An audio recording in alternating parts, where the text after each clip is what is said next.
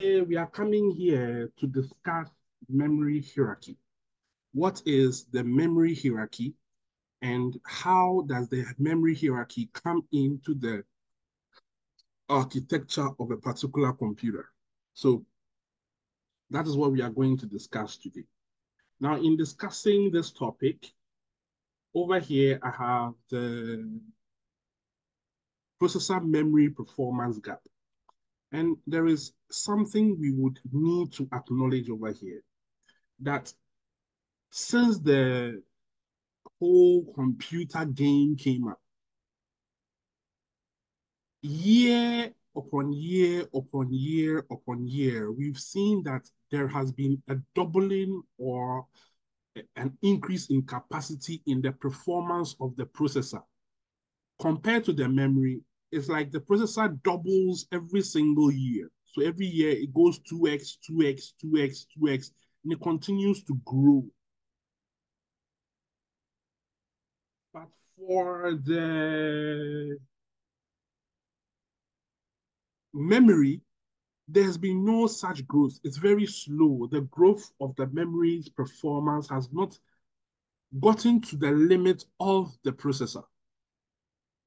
Now, we evaluate this understanding because according to Moore's law,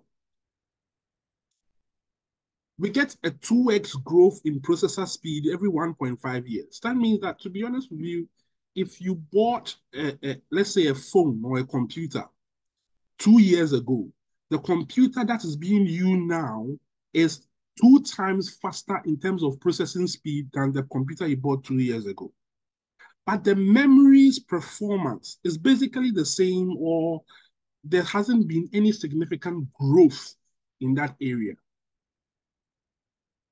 So we keep that in mind.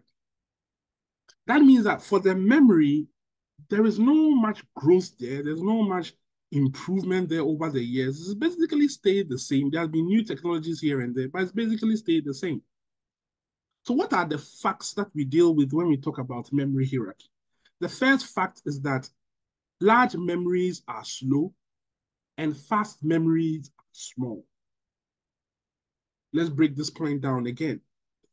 When I have my memory pyramid, so over here I have a memory pyramid. The memory pyramid looks at the secondary memory. The secondary memory here is what we refer to as our hard disk or our SSD RAM. All of those things form part of our secondary memory. Then we have our main memory. The RAM in your computer is what we refer to as the main memory. Then we have the second level cache. Then all the things here form part of the first level cache. So when we say the memory hierarchy, we have one, or let me use the, the light pointer. So we have one, two, three, and four. And we are saying that fast fact, large memories are slow. That means that the secondary memory compared to the main memory, the main memory is faster than the secondary memory. The second level cache is faster than the main memory. And the caches we have here are faster than the second level cache. Also,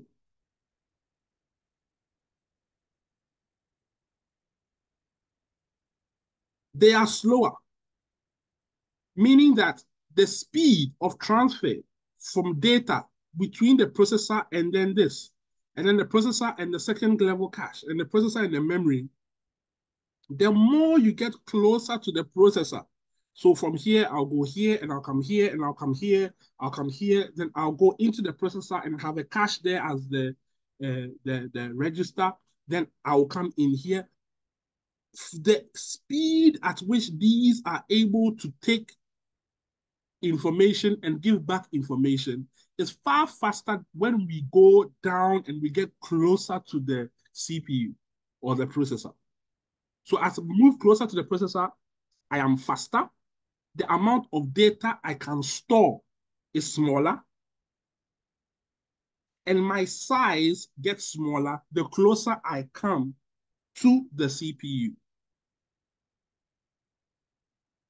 Now, how do we create a memory that gives the illusion of being larger, cheap, and faster? For most of the time, we do it with the hierarchy and we deal it with parallelism. So let me ask a question here. And this question anyone can answer, anyone who thinks he can answer. And by the way, I told the earlier class, so I have to tell you people too. When you're joining the class, um, there are some facts in which we need to get out of the way. I don't ask questions because um, I want to hear from you.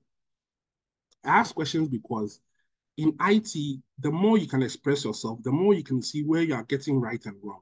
So the less you express yourself, the less good you become. That's number one. Number two, hearing from you knows you're paying attention it gives me the ability to note your name down and stuff so that if it gets to a critical point in which I have to give consideration to you, I would watch and say, okay, I know this student, ID 444, oh, okay, let me consider him because he has been contributing. That means that if you join these Zoom classes like Amos, Jeremy, Allo, uh, phone, Marshall, Pearl, without your index numbers, when I ask questions and you answer, I don't give you any marks and I don't take notice of you. I have to be very clear. So when you are joining, join with your index numbers. The next one too is that 30 minutes into the class, I take attendance. I have a software which I can just use to take attendance of the people who are there. And if your index number is not there, you get an attendance of zero. So please keep note of these things as we go along. Now, the question is this.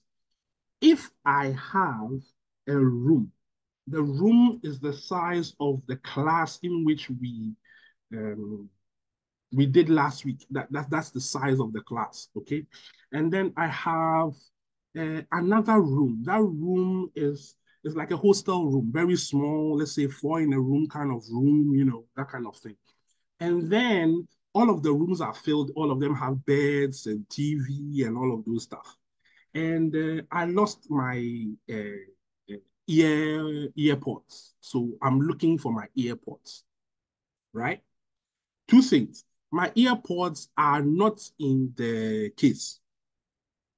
Are we okay? So I'm looking for the earpods, not the case, just the earpods. But they are in the room somewhere. Are we okay? Which room will I find it first? The room which is bigger or the room which is smaller? Who can tell me? The, the room smaller. The room that is smaller. Okay. Yes. So with common rationale, common understanding, um, we can say the room that is small. Okay, that's fine. Now, if I find it, let's say I find the earbuds um, on the bed, okay?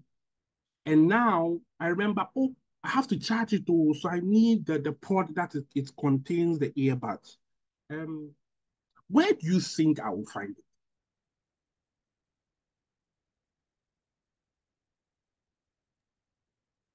You were never, you said you were never looking for it because you're only looking for a single earbud. I was only looking for the earphones. Great. Yes. I have found the earphones and I realized, oh no, um, I'm going to go out, and when I go out, I'll probably have to charge it. You understand? So now I'm looking for the ports, right? Where do you think I will find it? If I found the the earbuds on the bed, where do you think I'll find the port?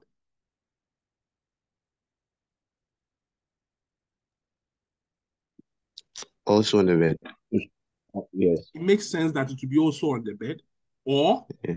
under the bed, or on the floor closer to the bed, or on the table next to the bed, right? So let's keep that in mind as we go along. I'll refer to this analogy as we go along. So, as I said, based on the pyramid of data that we have, we can see that our memory hierarchy is based on a pyramid. And this pyramid allows us to show memory by showing the L1, L2, main memory and secondary memory. Remember, the secondary memory is what we refer to as our hard disk, um, our uh, SSD drive, all of those things, we term them as secondary memory. The main memory is the RAM that is in our computer. And then we have the level two cache and the level one caches. At the top here, I showed you a diagram of them whereby the first square here shows you the level one cache. Here is the level two cache. Here is the uh, uh, uh, main memory. And then, of course, the diagram we have here becomes the secondary um, memory. Is that okay? Now, looking at this again, we can see that based on the pyramid, the more I go away from the processor, the bigger I am. That means that the more you are away from the processor, the more data you can store. Also, the closer you get to the processor, the less data you can store. Why is this important? Why is the amount of data I can store smaller the closer I get to the processor? Who can take a shot at it? Why is it that I don't just go and give my processor or my main memory, like since you were born, when you ever heard people talk about computer, they said, oh, I have two gig, I have four gig, I have six gig, I have 10 gig, eight, I have uh, eight gig, I have 16 gig, so on and so forth. Why have you never heard someone say, I have one terabyte as my main memory? Why have you never heard that? Why is it that the closer you get to the processor, the amount of data you store in the cache very, very small? Kelvin.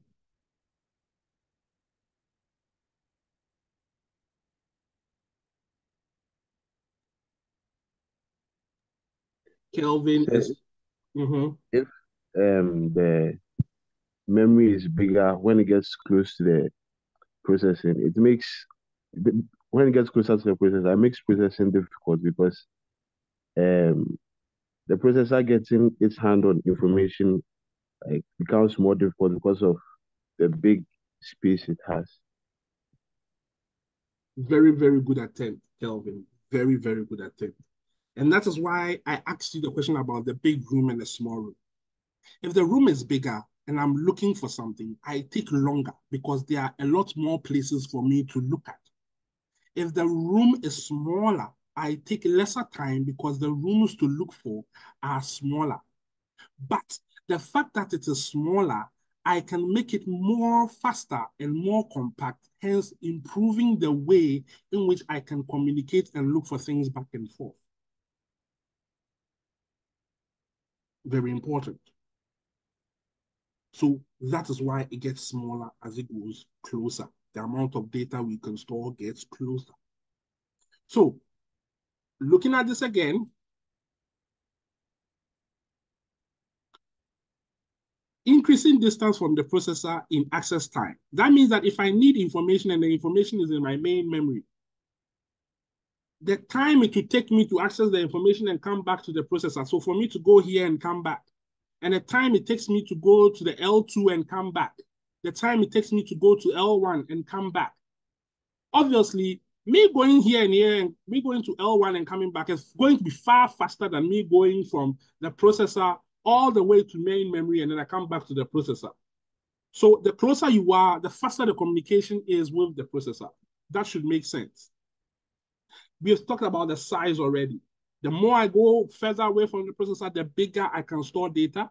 But the more I can store data, the slower I am because I do not, I am not involved in the processing of data experience with the processor.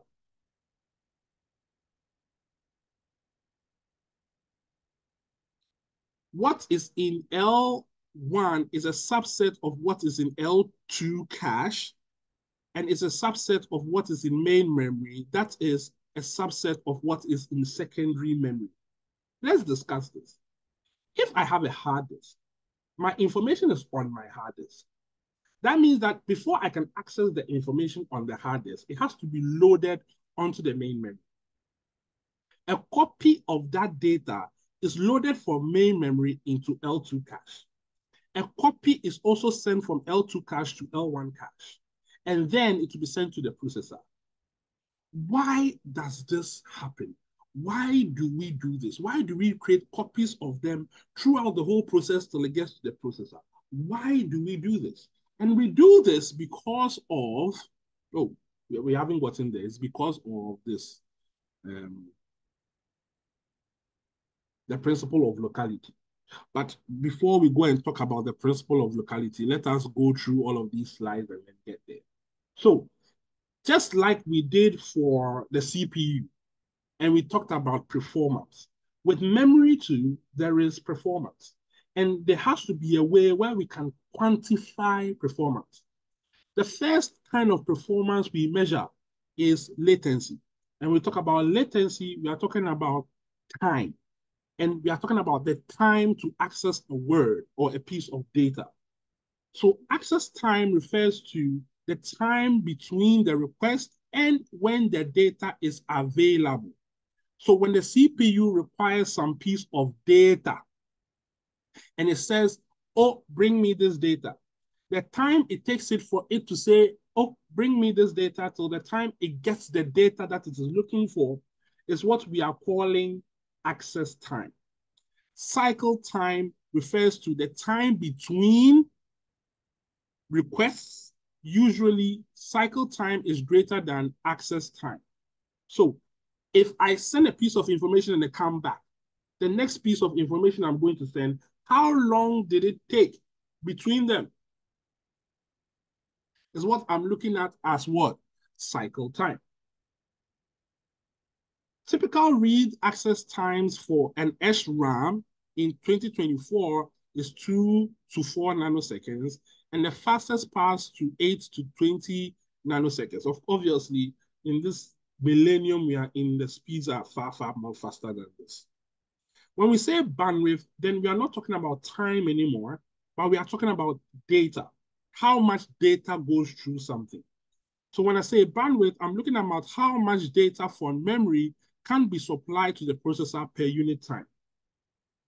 That is why sometimes you'll be having a conversation with people and they'll say, my network is very slow technically they are talking about their bandwidth. So the actual word they should say is my bandwidth is very low as an IT person. Because it means that the amount of data you are getting on your phone is let's say 50 megabytes per second.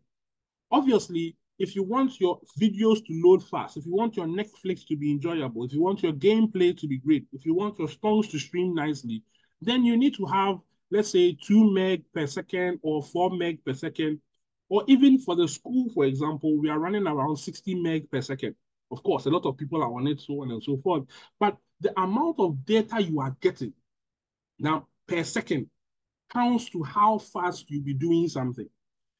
In which, in, in, in a, a good scenario of this is if I am packing things from, let's say I'm packing, uh, what do we call that? Uh, pure water, yeah? I'm packing pure water. And I'm taking it one by one. Obviously, if you are packing it like those guys who come and supply pure water and they have like four bags or 10 bags on their back and all of those things, they would be faster than you. Even if you run and go and do it or whatever, because the amount of data they are, they are, they are picking and going back and forth with is large, they can load the data faster than you can do it. So if I'm looking at performance, if the amount of data you can load is huge per second. And the time it takes you to do something is also very small, then obviously you are going to be very fast and your performance is going to be very good. Do we understand these matrices? Sir. When we meet um, next week, we'll have the second part of this lecture, and that will focus only on the calculations that come in, in memory hierarchy. But for this week, we are dealing with the theoretical stuff since we are on. Now, in that time, okay, we don't need these things. And we have already done the review of this. We know what L1 cache is, we know what L2 cache is, we know what main memory is, and so on and so forth. So we know what all of these are. So let's talk about the principle of locality. And that goes to what I asked you about the earbuds. If you are looking for something,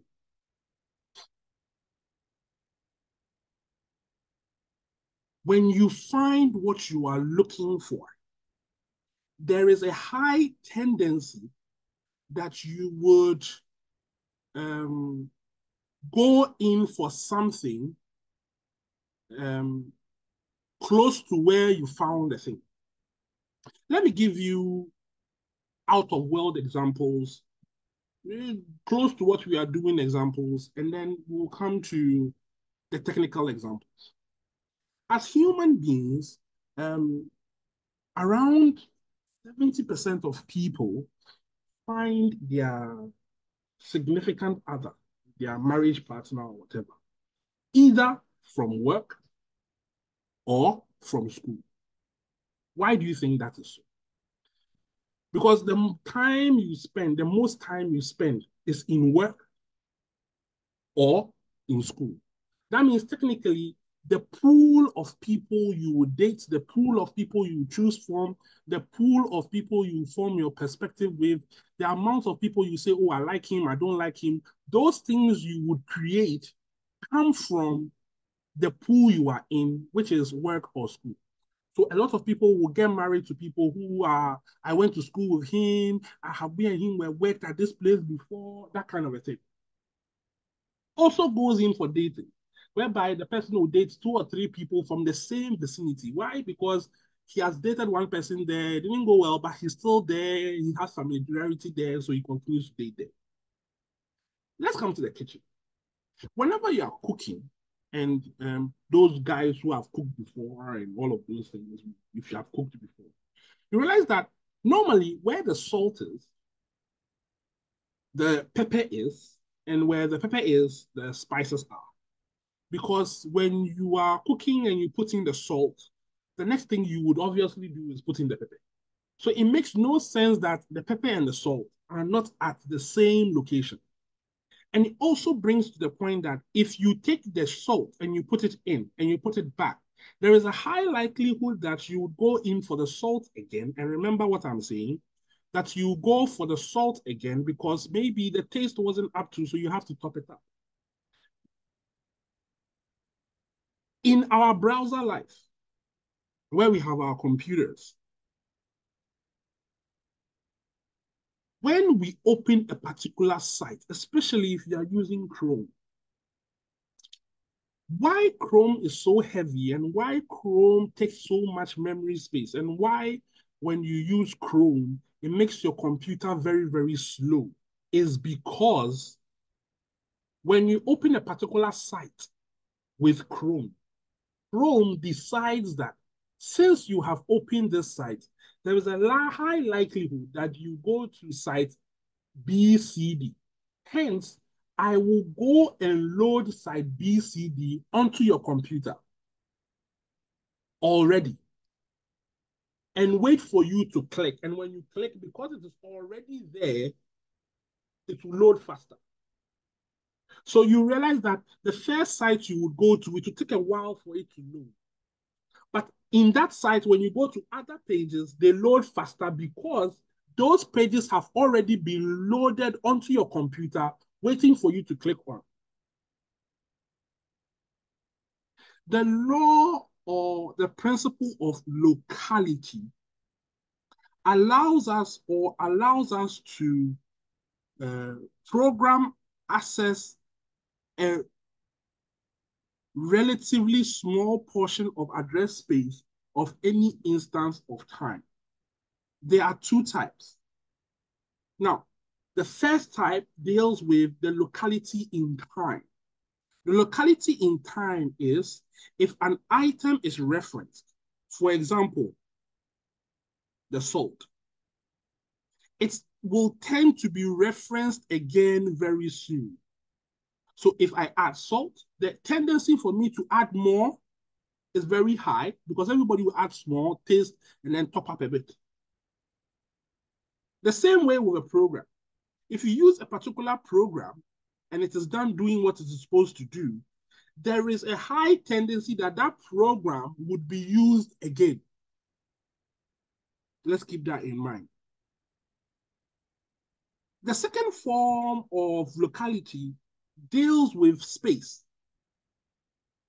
And here we are saying that if an item is referenced, items whose addresses are close by tend to be referenced very soon. For example, a straight line code or an array. So practically,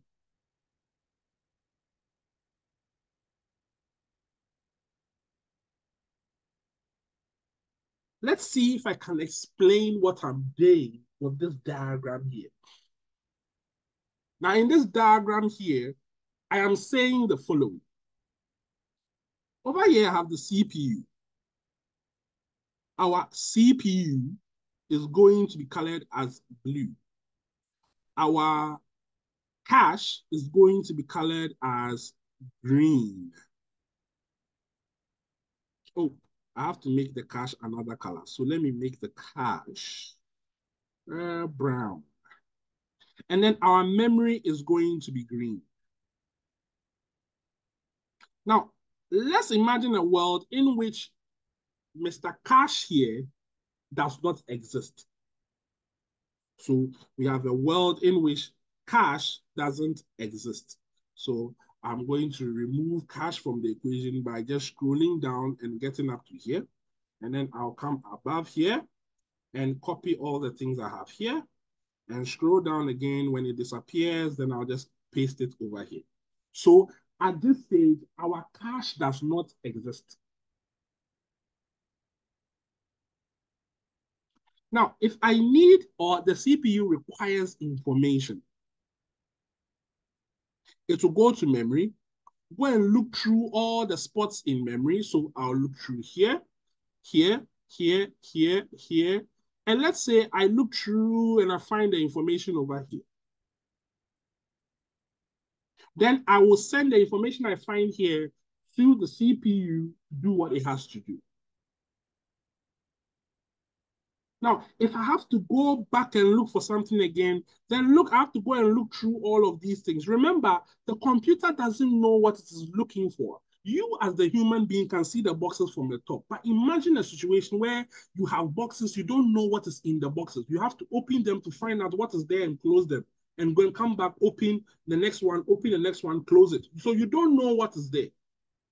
All you know is that there is something there you are finding using the addresses.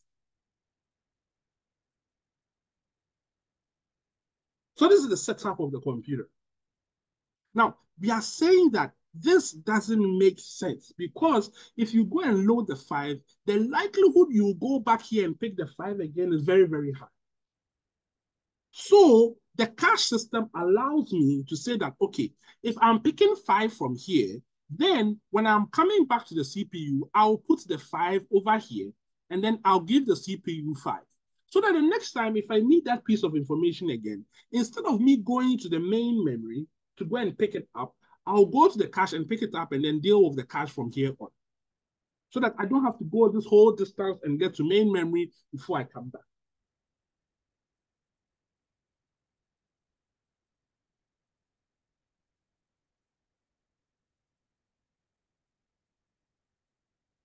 Also,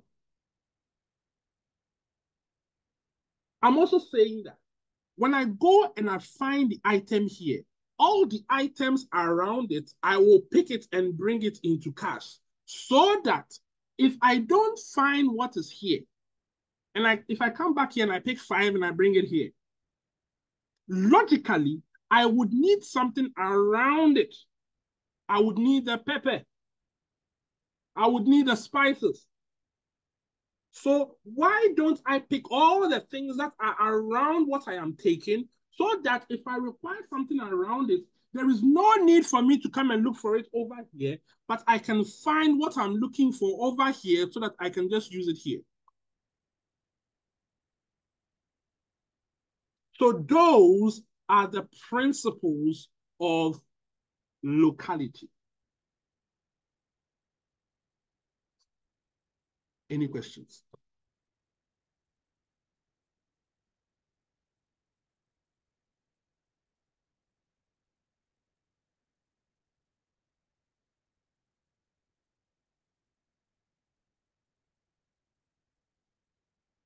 Are we all okay? Please, you have failed. oh. So if you don't understand, tell me. No, I'll go over. Well, I'll say it again. Excuse me, excuse me, sir. but Is it only Chrome that does this type of process? Um, to be honest with you, now most of the browsers do this because most of the browsers use there's something called Chromium. So, for example, if you want to use your own browser, you can um, download Chromium and then build your browser. So, Edge, for example, is built on the Chromium uh, uh, uh, uh, uh, kernel. So, it, it behaves like Chrome because it uses the core features of Chrome.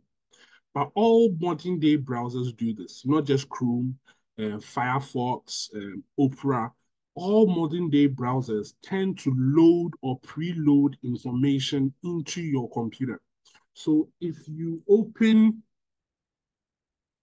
if you go into your computer, for example, and here I have not, okay, just for your sake, mm. I've opened Chrome. So this is Chrome. And then I open Chrome up. Right? So now Chrome is open. See how many things Chrome opened for me in the background. I've opened one page. I, have not even I've not even logged into it yet. So it's now um, I clicked for it to log into it. Now, when you log into it, look at the amount of things Chrome has created for me, right? Each thing here is a background information being loaded. So it is just waiting for me. That is why for some of you who use like a 4 gig computer or a 2 gig computer, you don't use Chrome. Because if you use Chrome, your computer will be slow because it does not have the memory capacities to handle what you're doing. At this current stage, I'm using 87% of my CPU and I'm using 97% of my memory and I'm running, um, my computer is running at 12 gig. So me running at 12 gig, I'm running near full capacity just because I open Chrome. And as you can see, I am talking to you, haven't clicked anything, haven't typed anything, haven't pressed anything, but look at the things which are opening in the background. Now, if I am to go and then tell Chrome to go away, so I'm to end it. Immediately I end Chrome, we can see the recovery I'm getting with my CPU and my memory.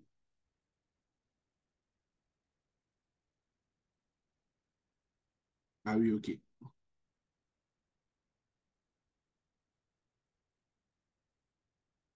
Do we understand? Yes, sir.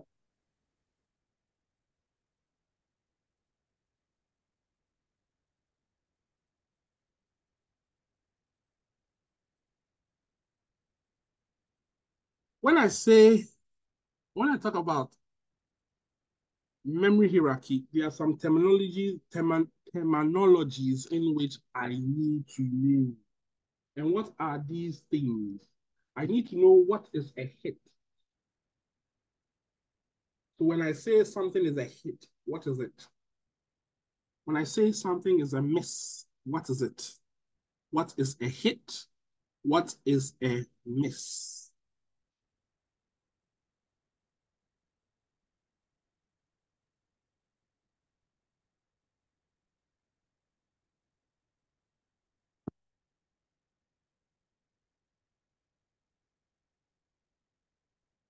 A hit is the data is in a same block in the upper level.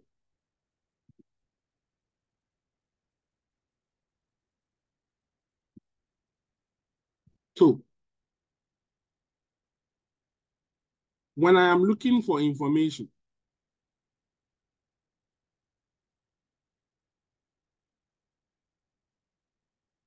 when I'm looking for information from here, and I come in here, and I'm looking for the information, it is a hit if I find it. So if I find, let's say, what I'm looking for, I'm looking for three. If I find the three here, I have a hit. If I look through all of this and I don't find it, it means that I have to go and load that piece of information from the secondary uh, from the secondary memory. So I have to go and pick it from here and then bring it back here. Me doing that means I have a miss. So it, data is not in the upper level, so needs to be retrieved from a block in the lower level. Then I have a miss. The hit rate is the fraction of memory access from, sorry, is the fraction of memory access found in the upper level. The hit miss is the hit minus the miss rate. Please give me one second. I'm coming, okay?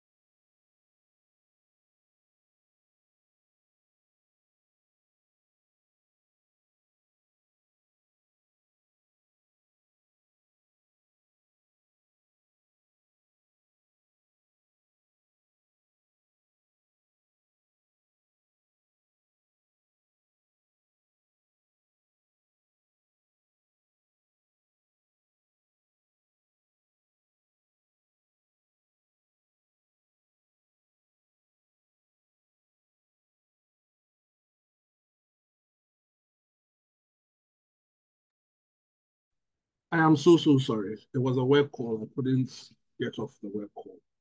So that is a cache miss. So the amount of or the ratio of how many times do I find it to how many times I don't find it. Meaning,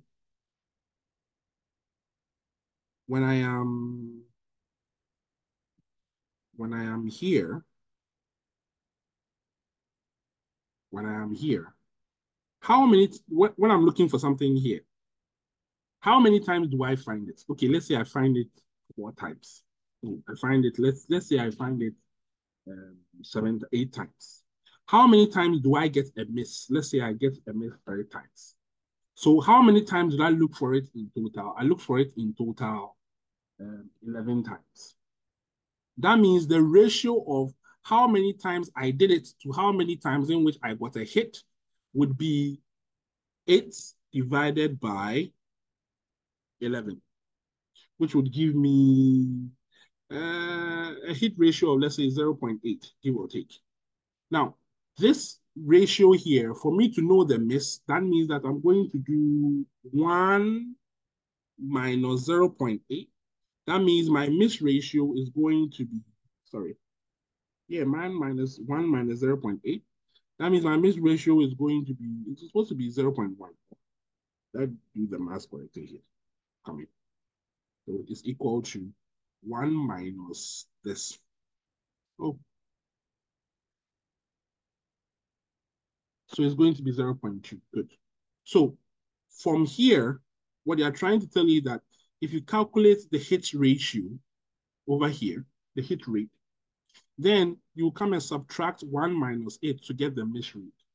The hit rate is how many times the thing I'm looking for, how many times do I find it against the number of times I have looked for it. So obviously, if I'm looking at the miss rate, it is how many times in which I didn't find it. The easier way to do it is to know how many times I found something, the rate of it, and subtract it by one. So that will give you your miss rate. Now, your hit time is the time that it takes you to access the upper level, which consists of the RAM access plus the time to determine a hit or a miss.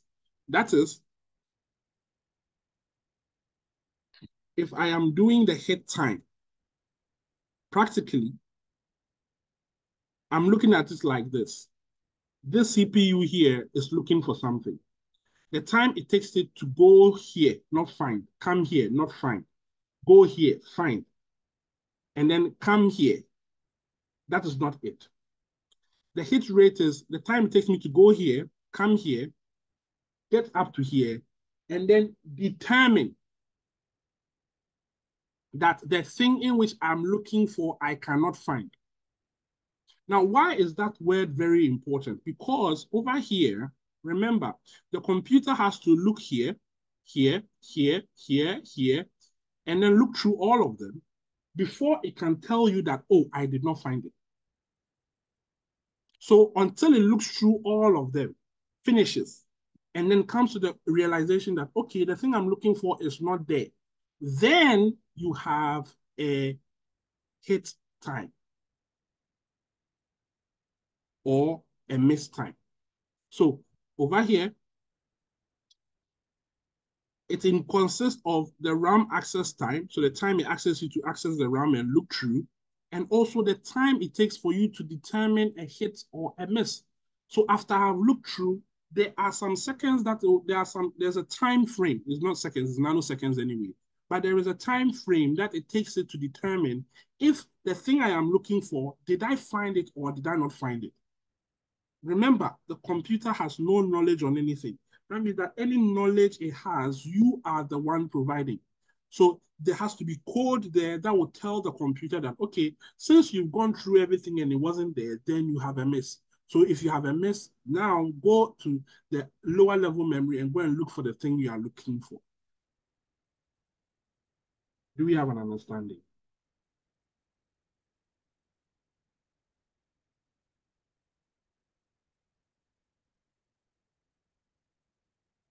So for memory hierarchy, there are four questions in which we need to answer ourselves.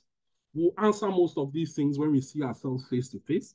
But let's know what questions we'll ask ourselves when we see ourselves face to face. Where can a block be placed in the upper level? How is a block found if it is in the upper level? Which block should be replaced on a miss? And what happens on a write? So let's have a discussion on this in terms of what we have over here. Now, if I have this setup here, right? Ideally, if I require some piece of information, I will come to the cache. That has been established. After I leave the cache, I will come to the main memory. I will look through, I'll find the thing I'm looking for. Say I'm looking for one. I have found one. When I'm going back to the CPU, I will go to the cache. I'll put the one I found over here, just in case it will require it in the future for another computation or do something again, just in case. Then I'll take the thing to the CPU to do what it has to do. The CPU is going to count this one till it gets to five. Over here, I have a question to ask myself. The question is this. If this figure here changes to two, do I go here and change this to two and come here and change it also to two? Or when this figure here changes to two, do I just change it to two in the cache and leave this one? So that over here, if it changes to three, This will also change to 3. When it changes to 4, this will also change to 4. But when it changes to 5, then here will change to 5. And because 5 is the result we are looking for, over here we'll come and change it to what? 5. So in the first way, every step, all of them will be updated. In the second way, we are looking at the communication between the CPU and the cache till our result is gotten before we come and change it in the main memory. To you, which approach do you think the computer will take?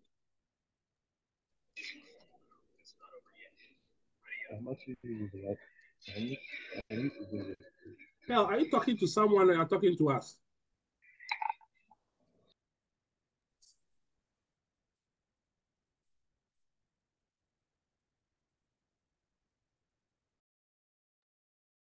I can see that I, the only way I can get answers is if I ask people questions. So, Clement, One, two. what will you do?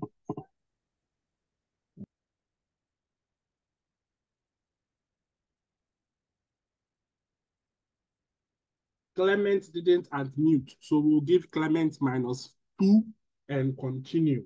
Foster, what will you do? Oh, sorry, Fraser, what will you do? Fraser Edu appear.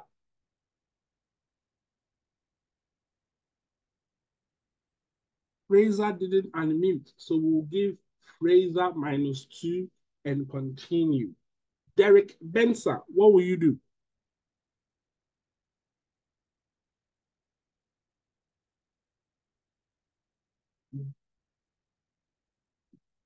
Derek did not unmute, so we'll give Derek minus two and continue. Kelvin. Wow. No, sir, sir, sir, sir. Uh-huh. Sir, please, I didn't hear my name when you asked the first time. Into know, is there another person called Derek Menza? So, like, no, sir, like the first time you mentioned my name, I didn't hear it until you said Okay, what will you do? it for the second time. Sir, please, I think the computer will maintain, no, it's rather change the numbers so that it will be easier for you to find it. So you think it will do a complete change, right? Okay, we have one view from Derek. Yes, sir. We have one view from Derek.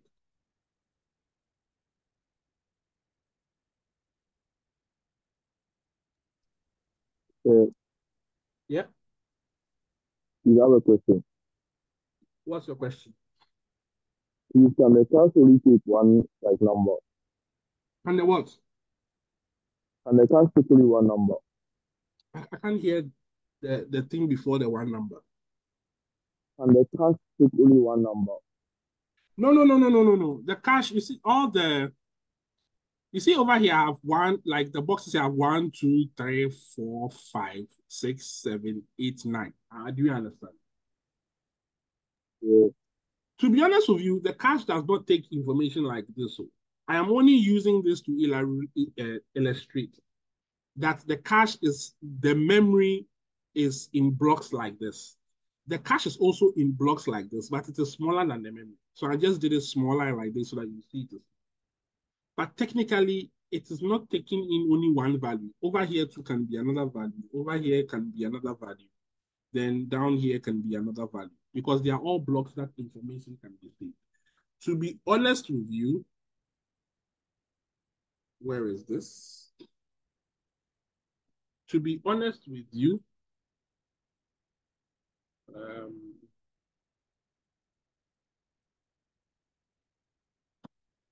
we are looking at something like this. So over here, this is how it looks like practically, right? So this is how a cache hit and a cache miss is uh, miss is determined. As I said, we'll do that practically next week because next week we'll do a lot of um, calculations and diagrams and so on and so forth. But this is how it looks like.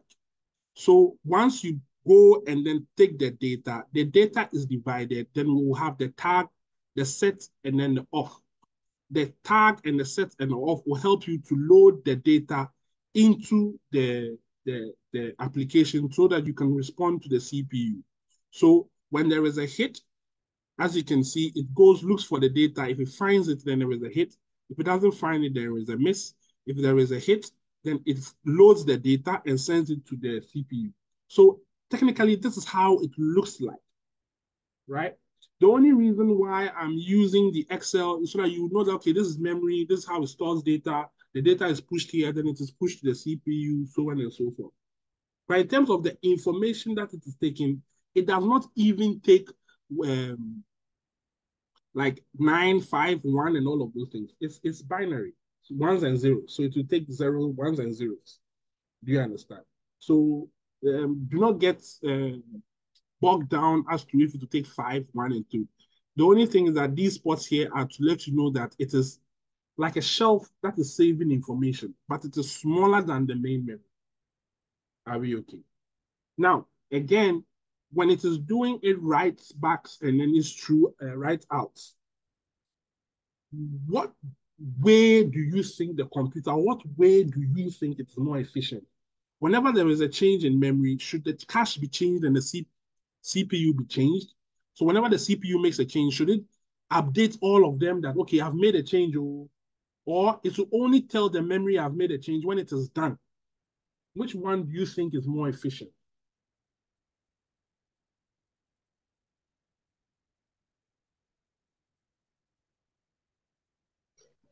So please, can you repeat your question? I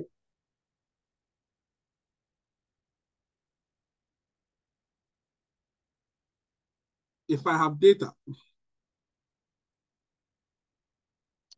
in my computer's memory, so in this case, I have eight here, right? So that's the data I have.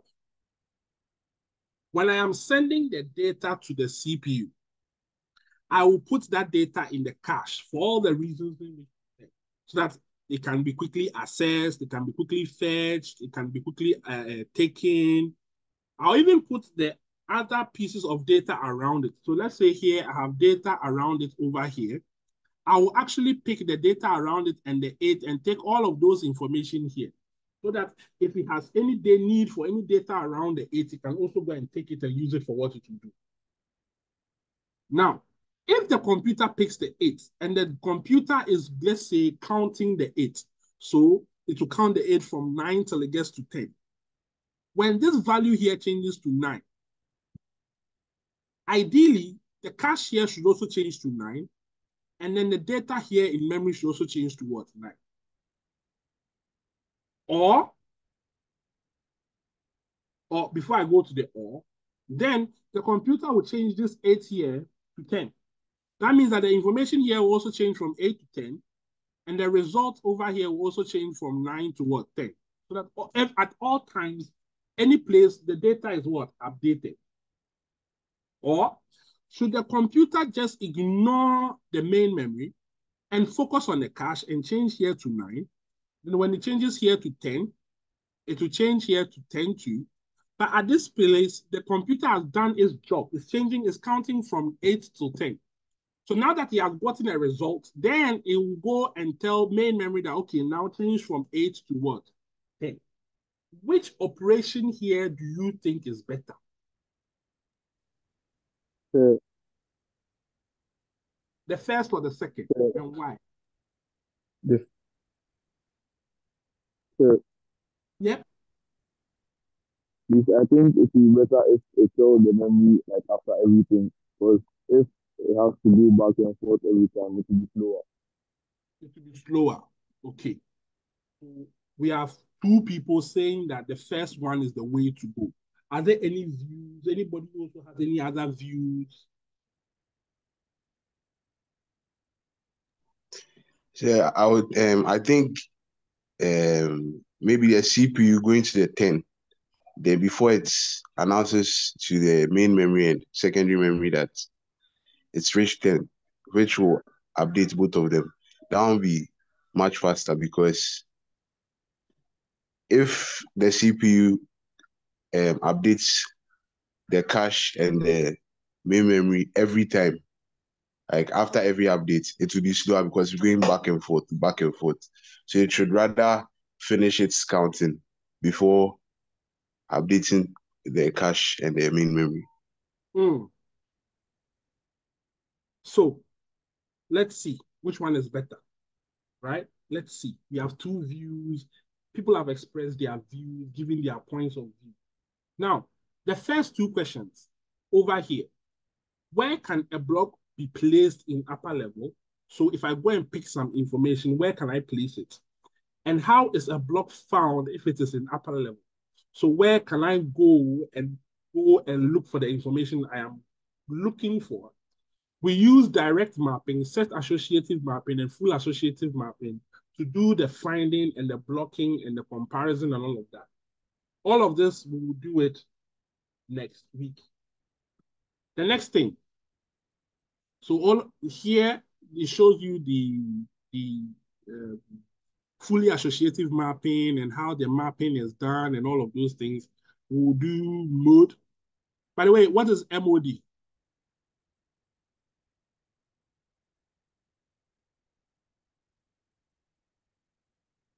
Twelve mode eight.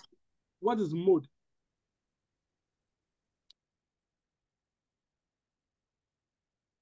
Mode acts as a range. As a, acts, acts as a range. Range. There's no range. Modular. If I say Modular. modular, what does modular mean?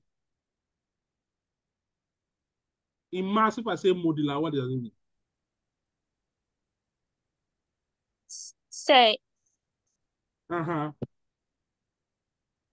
say I'm it's act, it's it acts as the reminder when one integer is divided by another.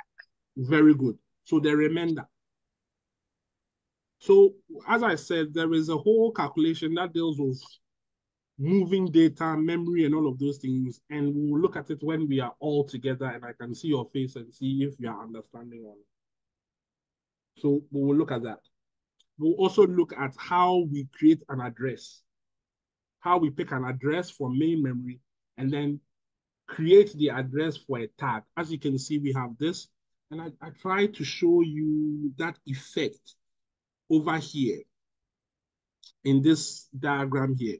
So that if you have data, when you go and pick the address from uh, memory, you go and pick the address of the item, you bring it to, I pick the address, okay? There is a miss, so I pick the address. Then when I bring the address here, the address will be broken down into a tag and a set. And then when it is broken down, that information will be loaded into cache. Then we'll get data, and the data will be brought from memory in here. So we will see how this whole process is done, the calculation, how it is done, how what goes into that. And that goes into the block address and how the block address is divided into the tag and the index. How do we get a tag? How do we get an index? What is the tag? What is the index? So on and so forth. The third question over there deals with what happens on a write. And here we can discuss that. So write through, the information is written to both the block in cache and to the block in the lower level of the memory hierarchy. So that is the first example we said, where two people said that that is the best way to go because when I make a change, I should send the change throughout my program. For the write back, we are saying that the information is only to the block in the cache. The modified cache block is written to main memory only when it is replaced. That is the example I gave. So the cache and the, the processor will talk to themselves. When you are done and you are fully sure, then you go and tell the memory what result you have. So there are pros and cons on each. What are the pros and cons of each one? For the write through, read misses don't result in writes. So it is simpler and cheaper. For write backs, repeated, repeated writes require only one write to the lower level. Also, there needs to be a way where you can keep track of if the computer has done what it is doing or not. Remember, the computer in itself is not that smart. The smartness of the computer comes in the speed at which it uses to process data and the instructions that are given. So in the scenario in which I gave, where I gave this scenario where we are going to be updating the numbers, right? So I go and pick a number eight and then I have to update it. I need to find a way whereby the computer will know that I am done. So that when it is done, then it will go and change the 8 here to 10. That means that it will be more expensive because it means I have to write code and algorithm to keep track of that. The other one, there's nothing to keep track of. The other one, I'm saying that if you make a change, go and tell all the other people that you have made a change and change it over there. But for this one, it means that if I make a change, I have to note that I have made a change, note when the changes are done, and know when I should send the change. And is more expensive. And it requires more detail. And if there is a mistake, it's difficult to see.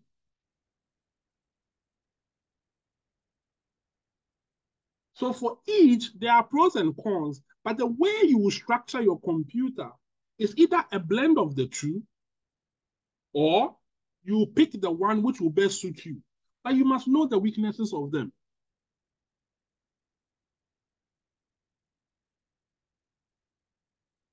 So over here, we have a table that shows what happens on the right.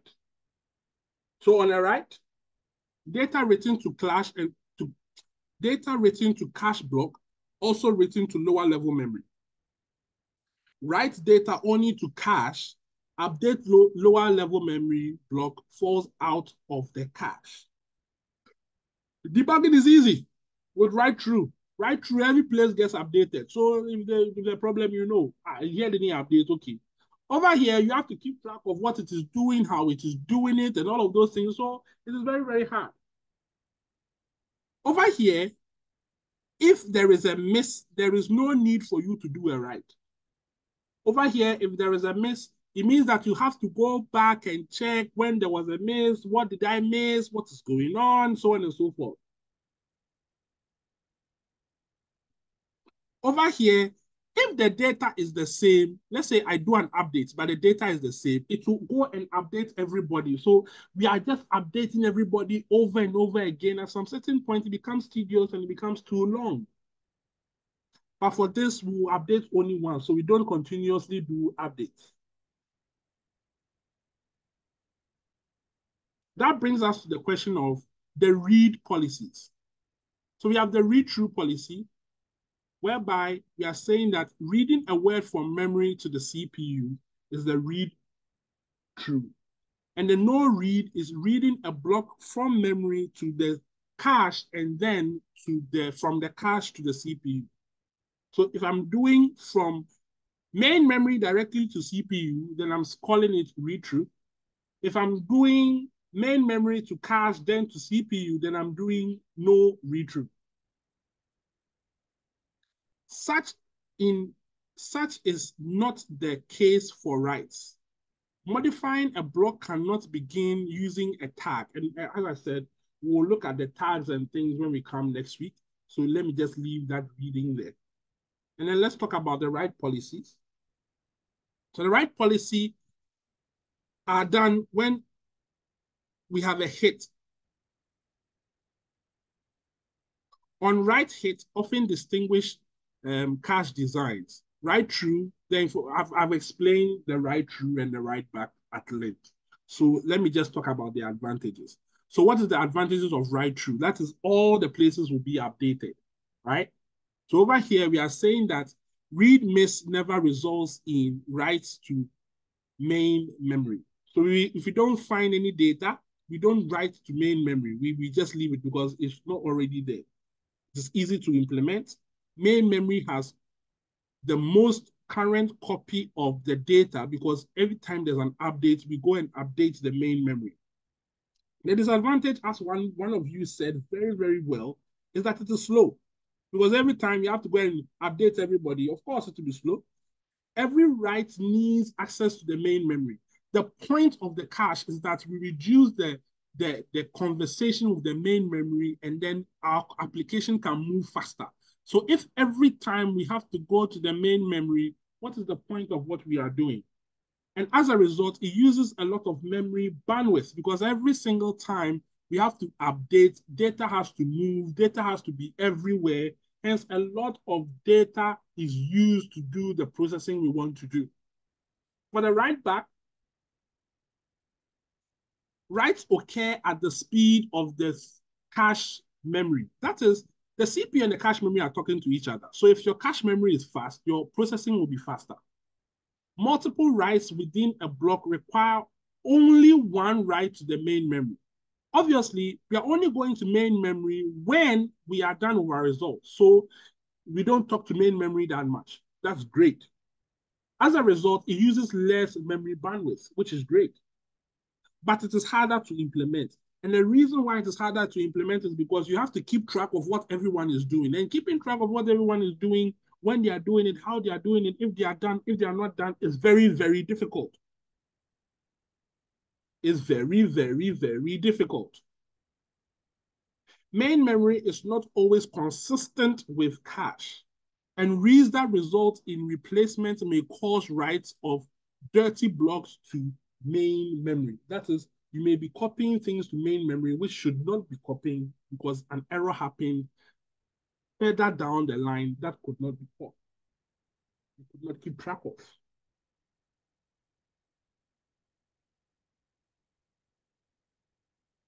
Do we understand today's lecture?